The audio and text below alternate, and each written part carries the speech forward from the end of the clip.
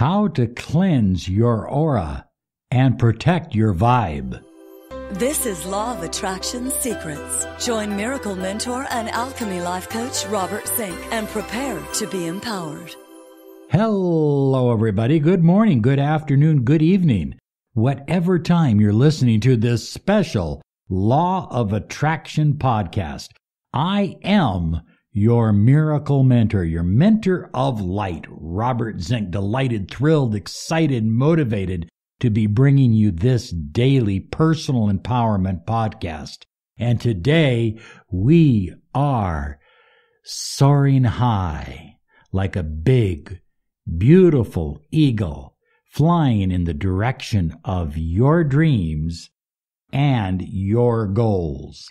I'm going to share with you something very empowering, a little bonus at the end of this podcast. But first, I want to remind you to subscribe on YouTube because if you do, every month we are giving away three manifesting accelerator programs to those who are subscribed to us on YouTube. And we're doing another contest every month on Instagram. So if you're subscribed on Instagram and YouTube, you got like double the opportunity to be a winner. So be sure and subscribe. Plus, we give you good, empowering information every single day. How to cleanse your aura and protect your vibe. Why is it important to protect your vibe? Look at your energy field, your vibration is the only thing that you have to connect to the infinite field of potential to attract exactly what you desire through the law of attraction. If you don't protect your vibe, in other words, if you have a low vibe or a clogged energy field, it's almost impossible to attract what you truly desire through the law of attraction, working in harmony with the infinite field of potential or the universe. It's absolutely critical that you protect your energy field. Rachel and I, a few years back, wrote a book called Magical Energy Healing, the Ruach Healing Method, R U A C H, Magical Energy Healing. I'll have the link for you just below and you can order this book. It's a pretty thick book and it goes into your energy field, it goes into cleansing, it goes into advanced healing techniques. But one of the things that I have learned is those people who are unhappiest, those people who are not attracting what they truly desire, who are struggling through life, those people who are sickly tend to have low vibrations tend to have negative energy around their vibe. It's your responsibility. Don't blame others. It's your responsibility to protect yourself from negative people, from negative places, from negative ideas, and from negative things. I'm going to give you a few suggestions on how to adequately take care of your vibration, of your energy field, because this is absolutely essential if you want to attract the money you desire, the love you crave, and the health that you depend upon. Number one, you really need to learn how to be alone. Now, if you're in a house full of people, that may mean getting up a little bit earlier. I used to have a client who set the alarm and she would get up at three o'clock in the morning and she would go down the basement and she would meditate, do rituals, read, study till about 4:30. Then she would go back to sleep till about 6:30 when she would get up and start her day. That was the only time she could find to be alone, but it was so important to her and her personal development that she made that time. She cut it out. She went to bed a little bit earlier.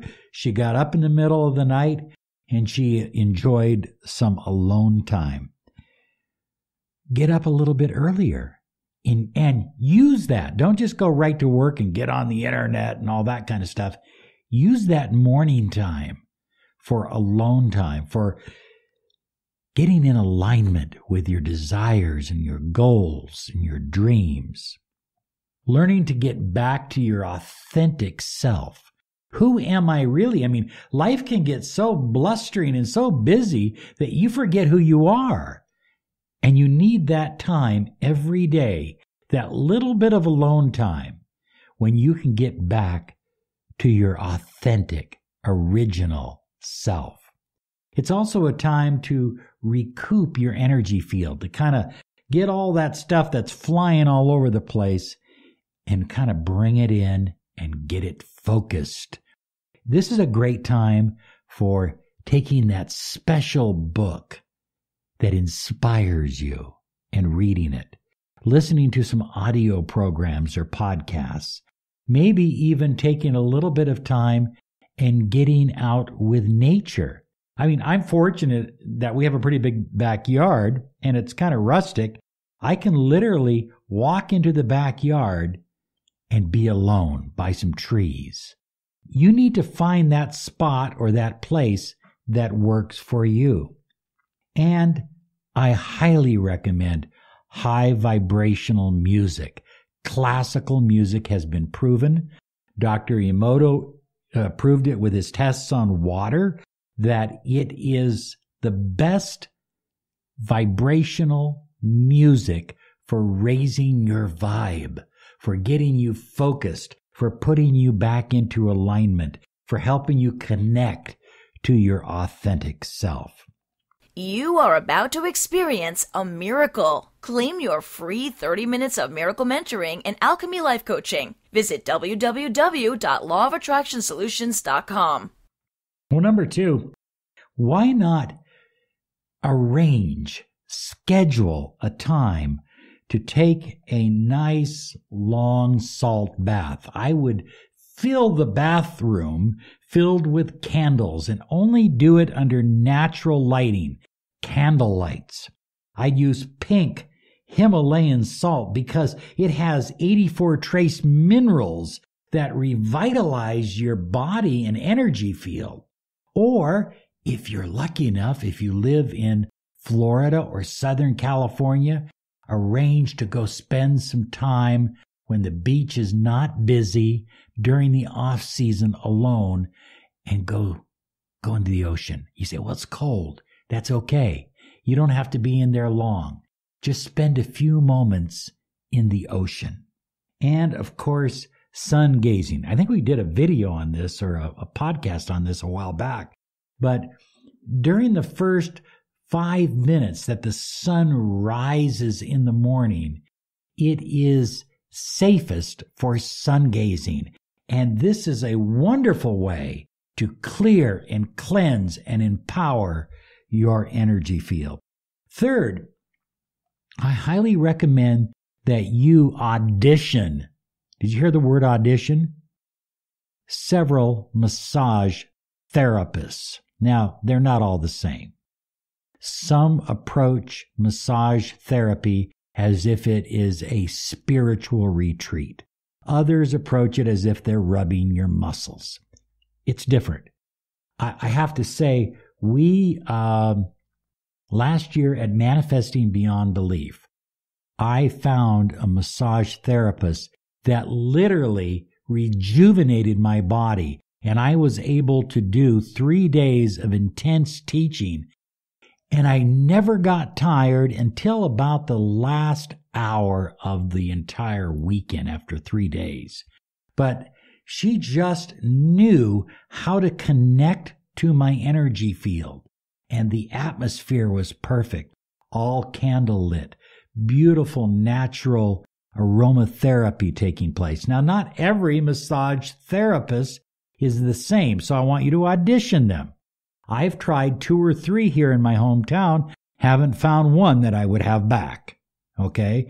If a half hour or an hour after you have received your massage, you feel exactly about the same as you did before you had it, that person isn't worth your time or energy. So what I do is I have a set of two or three empowering incantations that I use while I'm being worked on. So I'm in another world working on myself internally, on my subconscious mind, while the massage therapist, either him or her, is working on my body. And by the way, the two best, and I'm not taking sides, by the way, the, the two best are, or the three best, two of them were friends and both male, and one of them was a female. So it really doesn't make a difference whether it's a female or a male.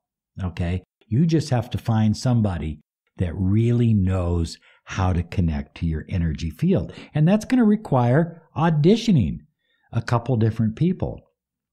Uh, have the massage therapist do some aromatherapy work or raindrop therapy on you. It's going to make a huge difference. And make certain that there's some good, quiet music, that you're not being disturbed by outside sounds, any of that, okay? Make this a journey. Your massage should be a journey into yourself and into a cleansing and clearing experience. Okay, because that's what this is about. Cleaning and clearing your vibration. Number four is get out in nature. I mean, it's so important. One of the techniques, and you probably won't hear this from anyone else, maybe you will, I doubt it, is on a nice spring day or even a summer day if it's not too hot, find a nice shady tree, a big tree, and lean against the tree. And as you lean against the tree, visualize that you are breathing in through your spine and out through your nose. And the energy is returning back to the tree. So, in other words, you are breathing the energy from the tree into your spine, which then circulates throughout your entire body. And as you exhale, the energy returns back to the tree where it is healed. It's a wonderful experience. It's as good as the most expensive massage you will have. Do it for about a half hour. Allow yourself to just relax and go into a deep state of meditation and absorb the energy from the tree. Okay. When you absorb that prana or that ruach energy, whatever you want to call it, or light energy or life force energy, it's a wonderful, rejuvenating experience. And as you exhale, that carbon dioxide goes right back to the tree. It's rejuvenated. It helps the tree. So everybody wins. This is the number one podcast on personal empowerment, success, and the law of attraction. You're listening to the Miracle Mentor of Light, Robert Zink. Come on, folks. Number five on the list must do clear your home of clutter. I mean, seriously, you know, get rid of the clutter, get rid of the dirt, get rid of the dust, and put some nice, revitalized, clean energy. I like some amethyst. Uh, we have some amethyst right here in the office. I think we have two big pieces up there. And uh, what is that yellow piece that we have? Oh, that's we have some nice dark citrine and a light citrine. Yeah, and a big, big piece of green opal right here in our office. It's revitalizing. And then we also have a small aromatherapy uh, cold air diffuser in our office. And we have a large one that Rachel bought me for Christmas in our front room. And we have some oil going in that. I like some smoky quartz because it kind of pulls out that negative energy. I like some citrine because it's just positive, uplifting vibration. And of course, you're never wrong in filling your room full of rose quartz. It's filled with love and high vibrational energy. Wear some special jewelry and dedicate your jewelry. Just don't go buy a piece of jewelry and throw it on you. Take the time to dedicate it under a new moon or a full moon or just cleanse it. I just have some frankincense oil. I cleanse my jewelry with it and uh, it smells nice for a while.